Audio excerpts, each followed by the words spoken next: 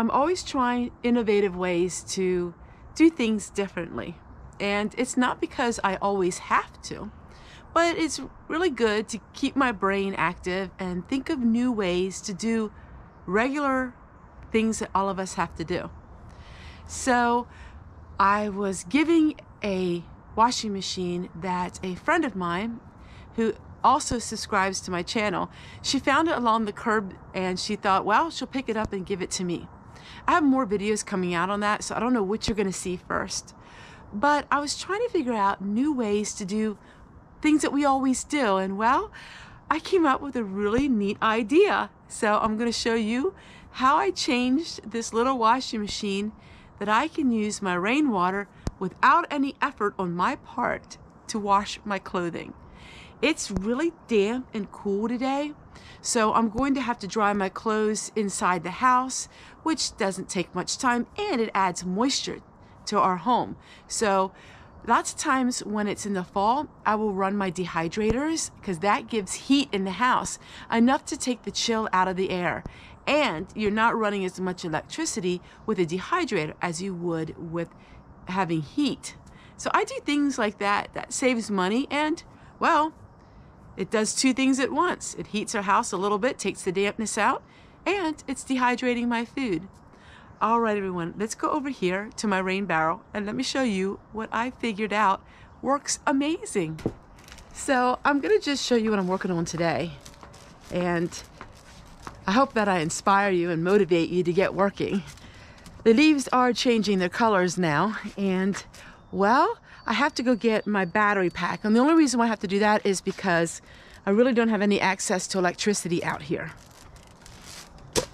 So what I'm going to be doing is 100% off grid, like totally off grid, because I am not using any resources whatsoever that cost any money. Oh, that is amazing. Now, because I do I did get the battery pack for free. I understand that. I understand that, you know, most people can't afford that. But my videos are for entertainment and just to share with you my life and what I am doing. And so I hope you enjoy it. And maybe even though you don't have a battery pack, maybe it instilled in you something like, hey, I can do this. So let me show you what we're to do.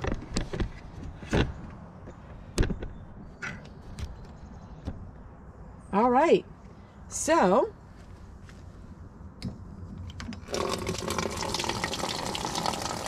we are using rain water to fill up the washer.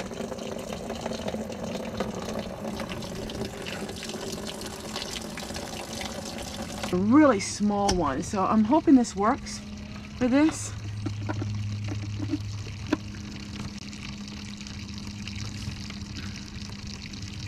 Okay, so this little washing machine takes hardly any electricity and battery. Okay, so let's see what we can do here.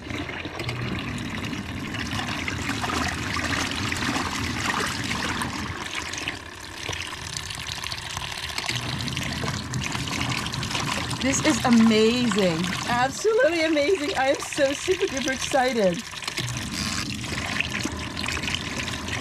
All right, I think we have it just about full on that.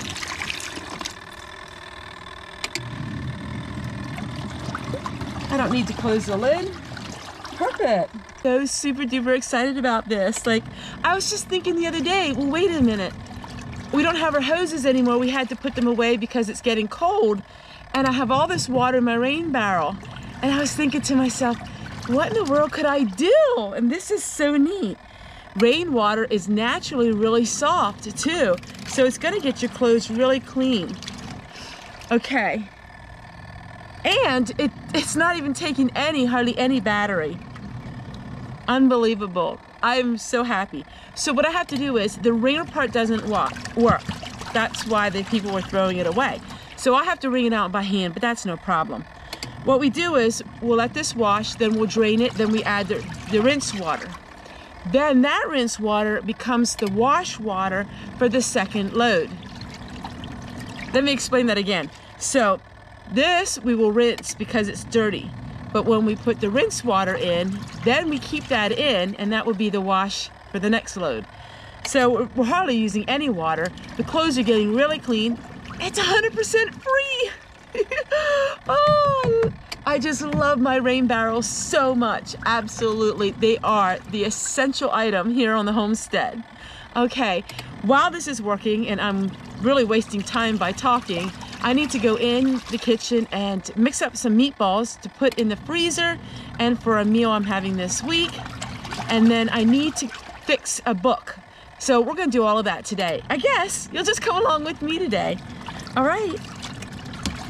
Now let's go in the house. All right, so I have this really old book and it's in bad shape and you can see that the cover is almost off of it.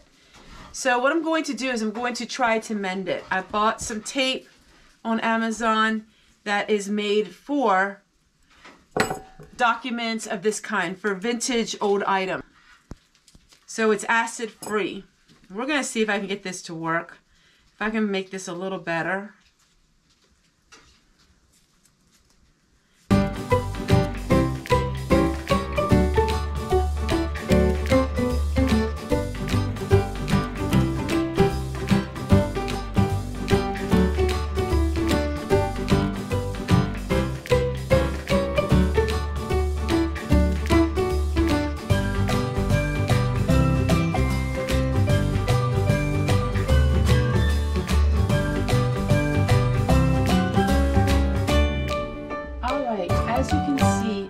Not very clear if you're doing it binding, but it's made for pages. So if you are going to be fixing it with pages, you can see here that it looks really nice. And it, it did, it fixed it, just what I needed. And that's what it looks like. Now I can go put this on my easel over here and now that book is finished. Right, now I'm gonna mix up some meatballs and get them done, and then we'll go out and we'll finish our laundry.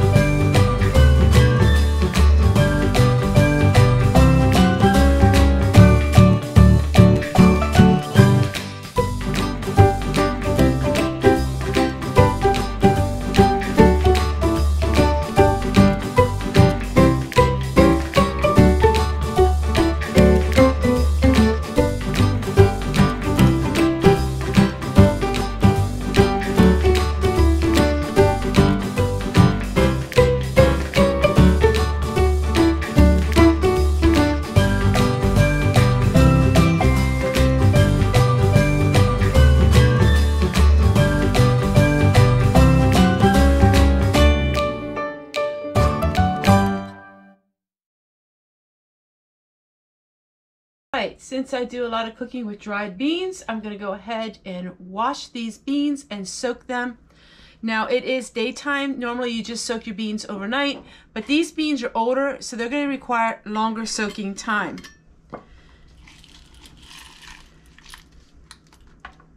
So we're going to be making some bean soup coming up here, and I'm gonna go ahead, we're gonna put them in here. I'm gonna rinse them. And then we're to soak them. And now that is finished. And then I'm to do a little more cooking here in the kitchen. And then we're to go out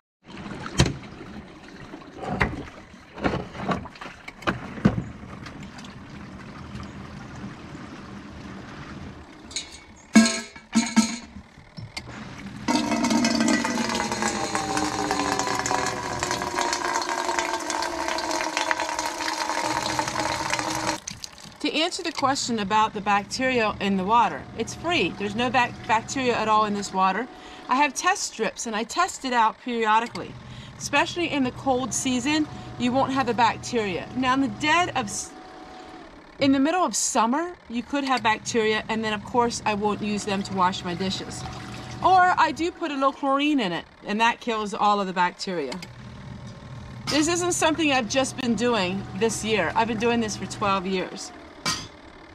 So that's going to go in the dishwasher. so we have the water all ready for the dishwasher. This is the rinse cycle. Now I'm gonna wring this out, most of it by hand. And I love doing that, it's a lot of fun. I wish I could get the spinner to work. I haven't had time to really look at it yet, but I've had these in the past and it could be something really simple. That's why the spinner isn't working. But until I have a little extra time, I just do it like this. All right, so now everything is rinsed, but we're not draining that water because that water is going to be our wash water for our second load. So all we do is wring it out by hand. Now, a lot of people have asked me, what do I do with my quilts and things like that? Then I can take it to my daughter's house or I can take them to laundromats I generally wash my quilts about twice a year, and that's always in the summertime. But you'd be surprised what these hold. So these will hold one sheet and one fitted sheet separately. So I just do two loads of wash with, so I just do two loads of wash, which would normally be one load for somebody with an American Standard size washing machine.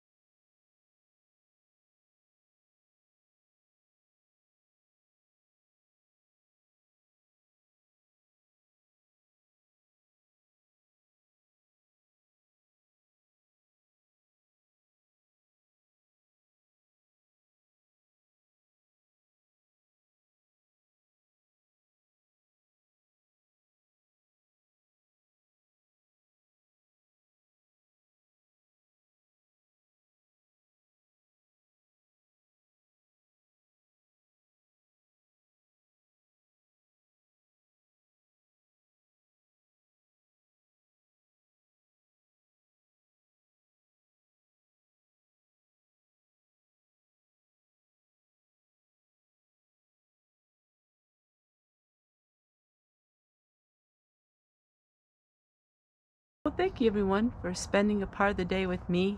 You know, with YouTube, you just see little snippets of people's lives, and I try to share with you as much of my life as I possibly can. I'm a morning person, so my videos are always in the morning, and by one o'clock, I try to wrap up all of my filming.